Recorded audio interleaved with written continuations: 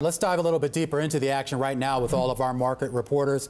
Abigail, what are you watching? Well, Romaine, I'm thinking about today's best sector, energy. Let's check in on the technicals. And in the near term, there may be a continued pop. You can see that the bigger message of this chart, not great. Check it out. From the peak to trough, down about 30%, not so far from those lows. But what could be encouraging, Mike, for the near term, take a look at the RSI coming off the bottom. If it can break that near term downtrend, it suggests that we may just see uh, the energy sector pop back up toward that 200-day moving average. But again, the bigger message here over the last year, energy basically in a bear market. Whenever you have one sector in a bear market, it typically is not good overall, but that's a longer term frame. Again, near term energy may just pop bullishly higher, Mike. Well, thanks, Abigail. Well, the risk on rally today really took a detour around Brazil. Uh, the Brazilian ETF, the EWZ, is down about 2%. That's the worst performance for a major ETF of at least 5 billion in the US today. And the real was one of the weakest currencies among emerging market currencies, down about 1.5%.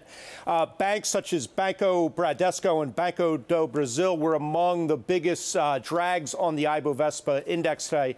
It's interesting, there doesn't seem to be really any any Brazil centric news, but Brazil does tend to trade in sympathy with Argentina. And while Argentinian markets were closed today for a holiday, there was some troubling news over the weekend.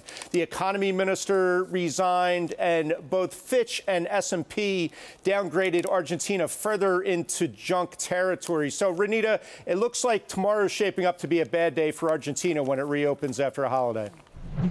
Well, Mike, as that risk on sentiment dominated, investors did not find a need for safe havens like gold. And as a result, gold has taken a turn for the worse, dropping more than 1.3% during the day. Now it's at around 1.17%.